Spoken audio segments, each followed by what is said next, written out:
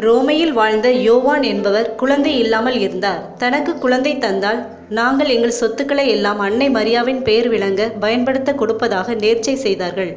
ஒரு நாள் யோவானுக்கு அன்னை மரியா காட்சி கொடுத்து எஸ்கலின் மலையில் ஓர் ஆலயம் எழுப்புமாறு பணித்தார். பேராலயமும் எழுப்பப்பட்டது. வருடங்கள் உருண்டோடின. அன்னை மரியா இயேசுவின் தாய் மட்டுமே. இறைவனின் தாய் அல்ல என்ற தப்பறையான கொள்கைக்கு எதிராக எபேசு நகரில் நானூற்றி முப்பத்தி ஒன்றாம் ஆண்டு திருச்சங்கம் கூடி அன்னை மரியா இறைவனின் தாய் என அறிவிக்கப்பட்டது.